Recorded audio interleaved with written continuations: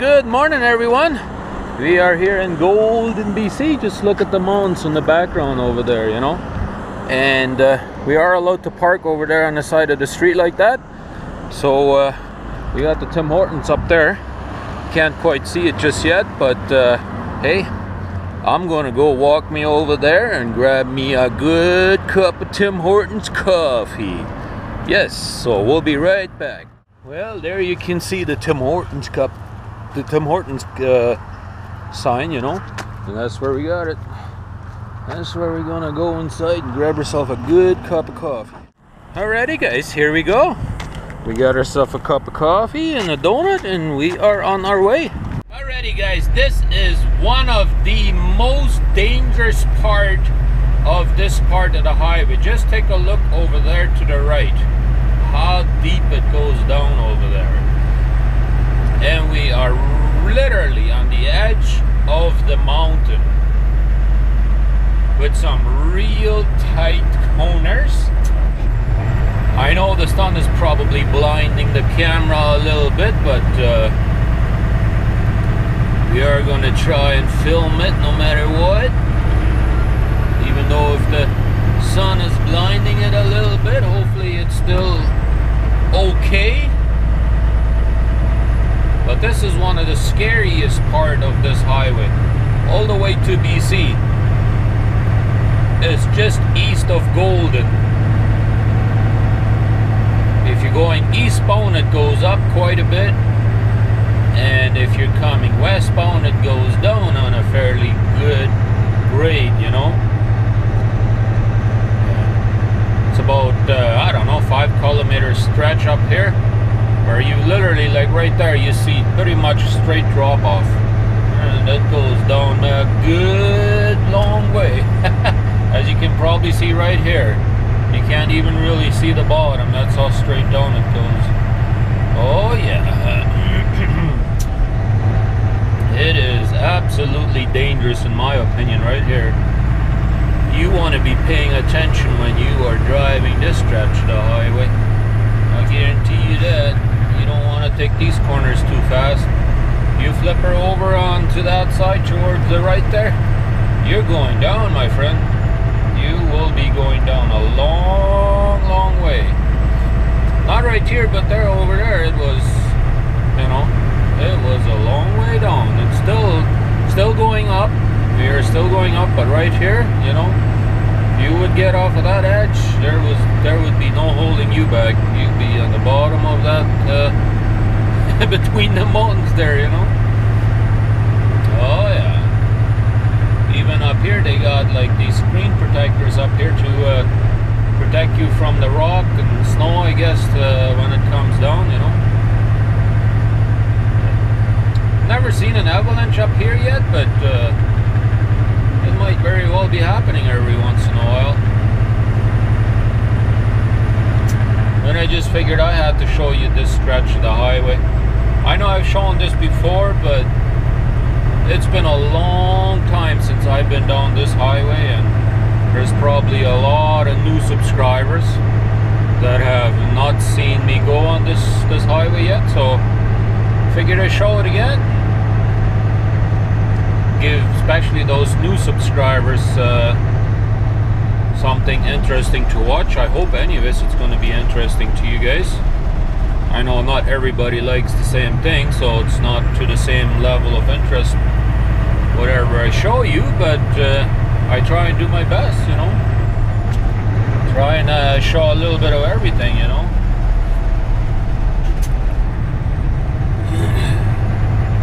Yep. I'm always surprised on uh, on the highway being able to be supported of these big trucks when there's such deep drop off over there. You know, it always surprises me how it uh, is able, you know, support this highway. How it's not breaking away and stuff like that. You know, but I guess they must maintain this highway pretty good. Otherwise, it wouldn't wouldn't be such a good stretch of highway. I bet. I guess over here you could pull over and take a look at the straight down over there, but I don't want to try it. I know I can see how deep it goes down when I drive down here. Well, there's a piece where the highway actually uh, broke away, it looked like. Yeah. Oh, yeah. Now we're going to go down for a little ways. But anyways, guys, I think that's about what I'm going to show you from this stretch. Just figure I'll wait till we get around this bend here, and then you can see the straight down over there, and that's it. And we'll be at the bottom. Well, not quite. You'll see actually the river that goes all the way between the mountains up there. You'll actually see it right here. We'll be uh, we'll be going over it here any minute. Right there where you see the sun shining, that's where the little little river is. That's where the bridge is. Not right about here. That's where you're gonna start seeing it. I don't know how good the camera picked it up though, but right here is the bridge for that little river. So, anyways, we'll be right back, y'all. Here we go, guys. Here we have a huge bridge. Now we're starting to go up again. And they cut through this one rock up here to go over here that used to go way down there. That's how the highway used to go. But now they got this huge bridge. I bet you the, the poles underneath this bridge are probably 100 meters high. I don't know how much that is. Probably 300 feet or over 300 feet. That's how high those poles are. Look at this, how they cut through this big rock up here. Just to make the highway, you know. That must have cost them millions of dollars. But it is still a pretty good grade up, you know. Oh yeah, but I'm light, so I'm able to uh, to roll pretty this area, you know. Some of these other guys are not so lucky, they have a heavy load. See now you can see there towards the right, the big drop off again, you know.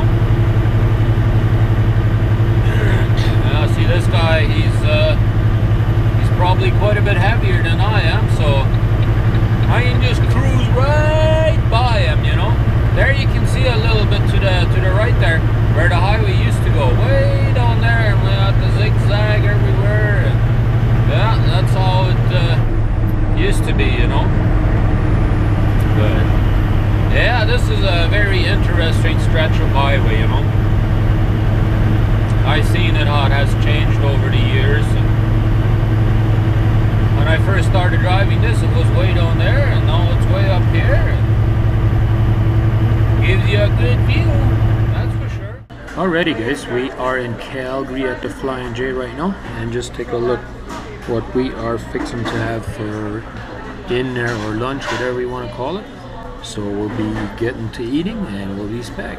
Alrighty, guys, we have done a lot of things here in the last little while. We are in Calgary. We're just on the outskirts of Calgary, anyways. And we uh, finished dropping our trailer at our customer and uh, went over to the Flying J and filled up the truck and got me a shower and had me a nice bite to eat and went over to our terminal and picked up me uh, picked up a empty trailer.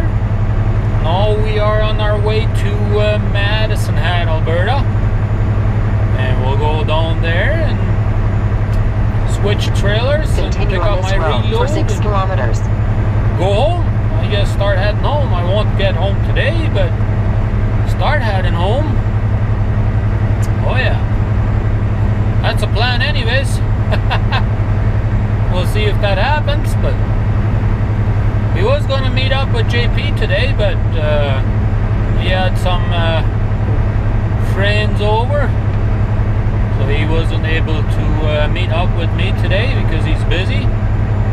But that's okay. Maybe next time. I know my wife and a lot of other people were really looking forward to uh, meeting up with him and or getting to see me meet up with him. Because I know my wife and I know Trucker Jukebox and all of them guys uh, all said that they really enjoyed the interview I did last time with uh, JP here from Calgary and uh, yeah well didn't happen doesn't work every time only works sometime when it does we make the best of it That's right. That's what we do. Highway 1. Alright. That's what we want, right? Yep. Highway 1 east. That's where we want to go. Towards Medicine Hat. I saw a little bit darker clothes over there earlier already, and I saw some lightning there in the background, so looks like, oh, there it was again. There was lightning there a little bit. I see it's raining up there somewhere. Yeah, we are light, heavy, no, not tonight. Nothing like that. We're empty. We're empty. We are super light right now, so hopefully we don't get a lot of wind with that uh, black stuff, but I guess it's further uh, north, so I don't think I'm gonna hit it.